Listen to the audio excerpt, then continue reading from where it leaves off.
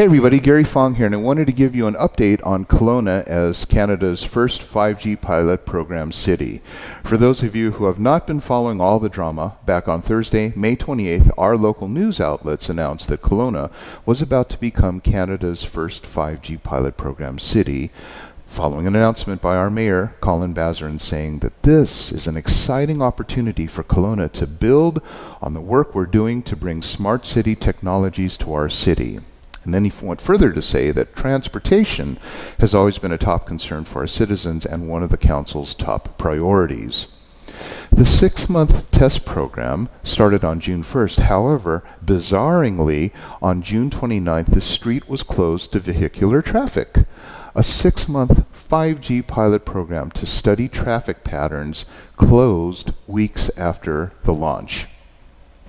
The testing was to be done on a very short section of street, specifically the 300 block of Bernard Avenue, an area with three large banks and a handful of small shops and restaurants. So I wrote the mayor expressing my concerns not only for the impact on tourism that announcing our city as Canada's first 5G pilot program city, what with all the uproar over concerns over the safety of 5G, and I asked him if it was worth risking our reputation as a tourism destination as well as the health of our residents in order to more efficiently manage resources such as garbage collection, parking spaces, and traffic systems. And our mayor said that he was thrilled Canada became a 5G pilot city, while Belgium's environment minister, Céline Fremault, refused 5G for Brussels, saying, very ominously, the people of Brussels are not guinea pigs whose health I can sell at a profit. Are the people of Kelowna guinea pigs? Was their health sold at a profit? Does the city of Kelowna belong to the mayor or the residents? And should he be the one that says when you get 5G or not without even asking the residents of the city? On June 1st, the city activated the system, and I started getting messages from my friends who live downtown, such as this one. I'm a yogi, and my joints all ache. My ears ring. It feels like they're popping all day. I went camping and felt great to come home and feel shitty. Here's another one. I couldn't fall asleep last night for so long. My hands ached like crazy. I woke up this morning drenched in sweat and such a heavy feeling on my chest and my heart racing. Like, seriously, I never feel like this. This is absolutely garbage. Here's another one. My ears are always ringing, and now that you mention it, I was massaging my hands all day yesterday, thinking maybe I'm getting arthritis. Another one. My brain actually hurts. I've also been having weird heart pain. As soon as I pulled into my condo yesterday, I had to stop for a second as my heart felt like it was going to jump out of my body. And this last one. Hey Gary, just saw your video. I've been experiencing vertigo and dizziness for the last three weeks at work on Harvey and Burtch, which I never did before. Interesting. Now my question is, is why am I compiling all of these and people are getting hurt or complaining of being hurt if you're the mayor, aren't you supposed to go out and find out what's wrong? But he takes these letters. Um, I, I, forwarded the complaint to the letters, and this is the response I got. He, he said, I can't explain the multitude of reasons people get migraine headaches and joint pain, but what I can tell you is that the pilot project you are so concerned about is using LTE, which is what most people already have on their mobile devices. I then met at the mayor's office with his representatives, and they told me that there was no 5G in Kelowna, period, and that with a delay in the spectrum sale and larger municipalities most likely having 5G networks first, it could be some time before we see a rollout in Kelowna, and that there is currently no 5G equipment installed anywhere in Kelowna. I asked them why the mayor would then call it 5G if it was simply 4G LTE. And they told me that 5G was a moniker, a trademark from Rogers, who wanted to be seen as the fifth generation in cell technology, even though the 5G Smart City pilot program, according to them, does not use increased frequencies or 5G equipment.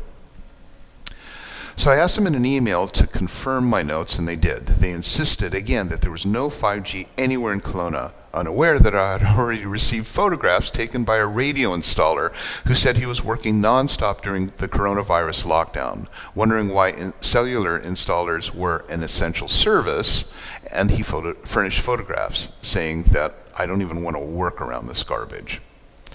Last week I met with a group in Vernon, a community activist group, and everyone had these really cool EMF monitors, which I'm kind of addicted to. You've probably seen my last few YouTubes where I'm going around the house and finding out like where all the dangerous levels are, um, not only your router but your desktop computer, um, and uh, you know it's really quite interesting. Well, someone at that uh, little get-together said that they noticed a huge spike in radiation between 11 a.m. and 1 p.m.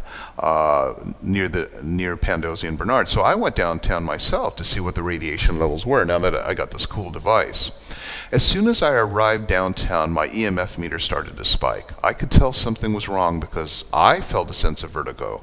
I had an instant ringing in my right ear and began to smell something metallic. I wrote all these notes down. I took the meter to the corner of Bernard and Pandosy and did a reading, and I found something very interesting. I found low RF readings for the 4G LTE uh, 2.4 gigahertz band of 0.001 milliwatts per square meter, but an intense peak of 354 milliwatts per square meter in the range covering up to 10 gigahertz, which of course is the 5G bandwidth.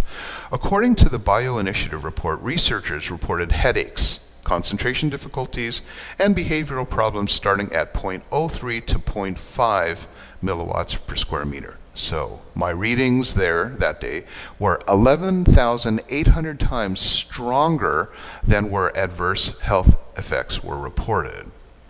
I went to a restaurant in that area to record and log my observations and I left my meter on and suddenly it began to squeal at me and I picked it up. As you can see in this video, the meter read extreme and gave readings of over 2,000 volts per meter, where anything over 10 is considered unsafe. Interestingly enough, Dr. Bonnie Henry, uh, yesterday, the provincial health officer for Kelowna claimed that an outbreak of COVID-19 originated from, of all places, downtown Kelowna. Why are they targeting downtown Kelowna so much? Why are they putting everybody out on the street in patio seating so that they can be out in the open? It's just an interesting thought. And then why all of a sudden is Canada's health focused on downtown Kelowna, the originator of the 5G pilot program city? Those are questions to ask.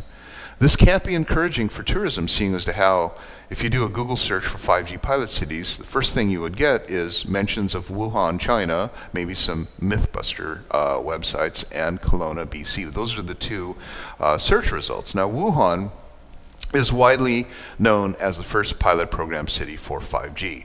Now, shortly after their activation, coronavirus broke out. Coincidentally, Kelowna, BC, Canada's first pilot program city, activated on June 1st, and then reported a breakout of COVID-19. Is there really an outbreak of COVID-19 in Kelowna? I have friends who are doctors and nurses who work at Kelowna General Hospital, and they said they have yet to see a sign of a COVID outbreak, and as of this date, I have yet to personally know anybody who has died of COVID. I only know one person who's ever had it, which would be Jerry uh, Ghionis, the photographer. Um, but yet I do personally know two people who have taken their own lives as a result of the lockdown. Now, Mayor Basran has been silent about the situation in Kelowna, finally speaking uh, yesterday, Monday, where the media reported that he won't say if the COVID cluster is concerning. On that point, I'll agree with them. There is no need for concern as there are only a total of eight people in the city who initially tested positive over the holiday weekend. So why is this outbreak in the news and why specifically downtown Kelowna where the 5G pilot program is currently on? Why does this follow a similar pattern to Wuhan, China? That question I'll leave for you to speculate in the comments section below. Thanks for watching.